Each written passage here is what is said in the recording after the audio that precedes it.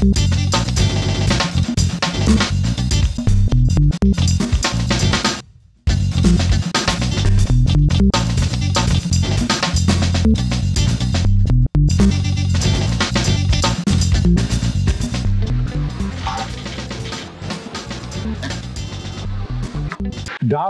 Salvador Dali, is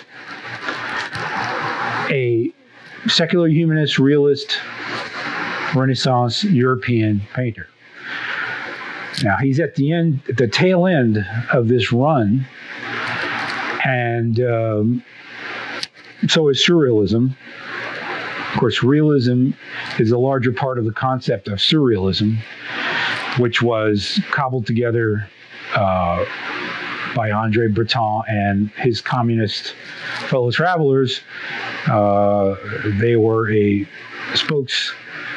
They were spokesmen for the Communist Party.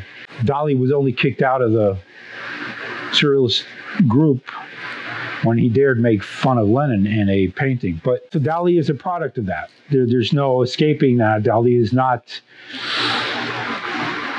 some sort of innovation. He is just really a part of the chain of events from Renaissance, secular humanism, realism, on up to uh, the Second World War and where it ends. This is part two of uh, the other video that I made where I spoke a little bit about the persistence of memory, which is Dali's most famous painting. The persistence of memory is a telling title because it talks exactly about this notion of the continuity between the Renaissance to now, or to 50, 60, 60, 70 years ago. And Dali was part of that continuity, and he was part of the persistence of that memory, the memory of the realist Renaissance concept uh, and way of thinking, which brought us science, brought us uh, printing, literature, um, and uh, a lot of you know the industrial age eventually, and a lot of the modern uh, ways of thinking that are all part of that continuum of uh, the humanistic thought. Um, the early Renaissance painters were more doctors than they were painters. They chopped up human bodies so that they could then reproduce them uh, bit by bit on a canvas. That's why Dali talks about at- atomization, which is you know really just a French way of saying breaking things up into parts. Uh, it doesn't mean atomic. It means breaking things into discrete parts. It means quantum. It's actually more related to quantum. The the, the notion of atomization, atomization, uh, is a way to break things into parts, and that's the quantum approach of science, which is concerned with smashing things together, breaking them apart, and then counting the pieces, reassembling them, and making a, a Pygmalion like automaton, which they were very famous for. The especially the uh, 17th, uh, 18th century uh, engineers were really, really fond of automatons, which is what a clock is. A clock is an, an automaton which ticks around in a circle. Uh, to give us the illusion that we can control time, which is the fundamental question for science and physics, which is the notion of time, which we'll get into in another video. But in this video, we're going to talk about the reason why Dali called that the persistence of memory is because it ties in with the notion of time as a quantifiable unit through watchmaking and machine making, automaton, uh, breaking things into particles in order to rebuild the particles, atomization, atomization. Uh, and Dali speaks of pointillism, you know, the Seurat pointillism uh, as being, you know, a perfect example of that. So we can break the painting into little dots, which really is what uh, video is, which is what photography is. Uh, this is the way that science has been able to, science and technology has been able to reproduce reality, which is the notion secular humanist, realist, Renaissance European notion of the Renaissance artist's approach to reality, as in a grid. They would look through a grid in order to reproduce what they were painting, or they would chop things up, human bodies, into pieces so that they could put them back together again to reproduce a reproduction of reality, which is basically where we're at now with artificial intelligence. That's another level. So, Dali's persistence of memory is an important milestone in that regard. Uh, and to look at his painting, his whole painting is a timepiece, but it sort of teeters on the edge, which is that brick wall that's on the side it teeters on the edge between the realization of time as a finite quantum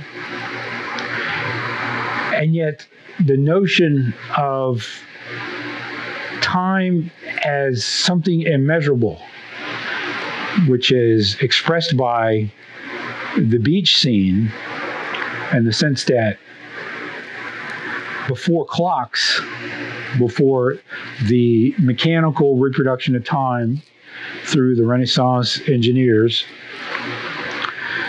Time was counted through water devices or sand devices, basically, um, in order to count time, to count the passage of time. They used hourglasses or with sand in them or devices with water that would drip and that would uh, that would allow them to sort of keep time. And so this whole painting is a timepiece because it's the whole background, the, the whole backdrop of it is a beach. The tide is pulled out, and you see these washed up watches on the sand. The translation for melted clocks is, is a, wrong translation, as Dali points out many times, and uh, anyone else who actually really uh, followed his uh, philosophy knows that those are not, or anyone who can speak French knows that that's not what it means. It does not mean montre molle does not mean melted clock. Montre molle means soft watch. In a sense, it's still, it's not melting, it's soft. It was always soft. And what he says about soft, he, Dali has a fascination fascination with soft things, and in particular with mollusks. And the watch as a mollusk is a very archetypal theme, uh, sort of a clam clamshell watch uh, is related to that but also the uh, Rolex Oyster watch was launched four years before Dali's painting. So the watch as a as an oyster, or as a clam, or some sort of mollusk, montremolle, mollusque, has the same word in it. A mollusk is something that's soft. It's a soft-bodied creature. A montremolle is a soft-bodied watch, but it's a it's a grandpa watch. It's a clamshell watch. So it's a watch as a living organism that is soft. These are washed up on the beach, which connotes the ending of time, which which is why this painting is important because it is the ending. This painting announces the ending of the secular, humanist, realist, European Renaissance. That is what that painting means. It's all washed up on the beach. Time is out. Time is over. The mollusks are dying on the sand of time. One of them's caught in a dead tree.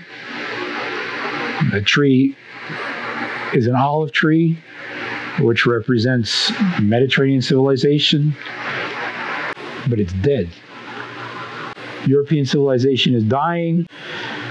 The tree is was growing on that brick wall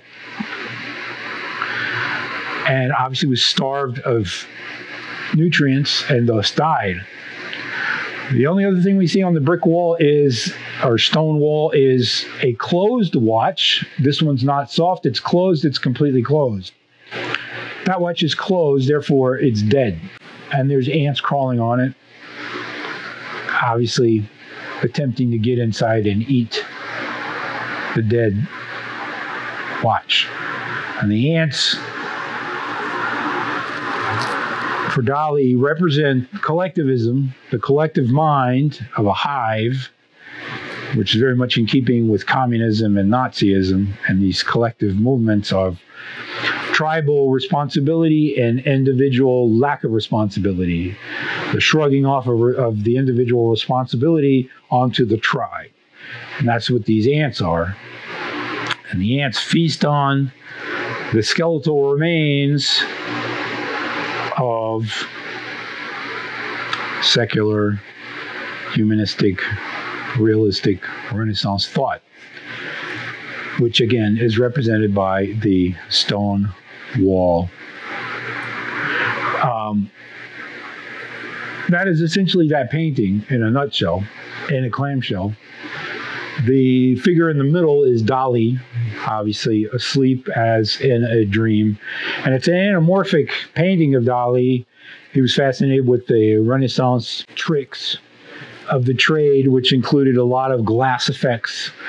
He was fascinated by Vermeer and and and uh, the Dutch painters, and he was fascinated, of course, by the Italian Renaissance painters, and they were fascinated with glass effects. They were fascinated with mirrors.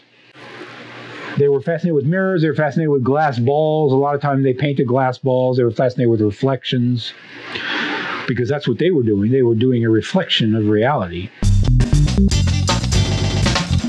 By way of a postscript, I'll just mention two things. The first is that in the upper left-hand corner of the painting, there is a mirror. Dali painted a mirror, and that relates to what I said earlier about mirrors being used by the Renaissance artists uh, in particular to achieve realism. The second thing has to do with the wall. One of Dali's favorite soft-bodied objects was, of course,